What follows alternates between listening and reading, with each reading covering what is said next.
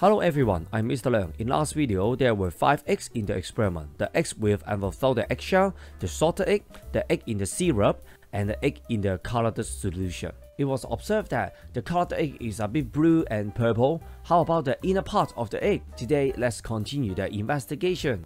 Let's check the egg first. The swollen egg with the eggshell is very bouncy, it can bounce for several times.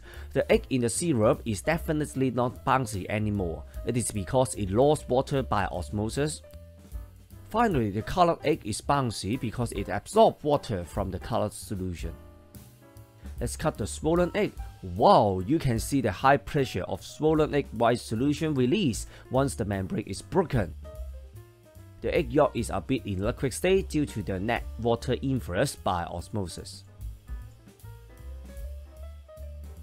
The egg in the syrup trifled. It was not that easy to cut the membrane. After cutting the membrane open, you can find that the egg white appeared yellow like the syrup. The egg white became thicker and stickier than that of the swollen egg. It is because net movement of water molecules from the egg white to the syrup. The membrane became yellow, the texture of the egg yolk became harder, you really need to exert a bit to cut the egg yolk into pieces. Finally, the colored egg. Like the swollen egg, it bursts when we cut the membrane. You can find the membrane and egg white liquid became purplish blue. For the egg yolk, it was still yellow.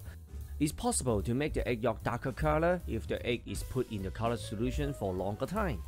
Thank you for watching the video. Please comment, like, share the experiment videos. Surely subscribe Faith Education channel. Thank you for your support.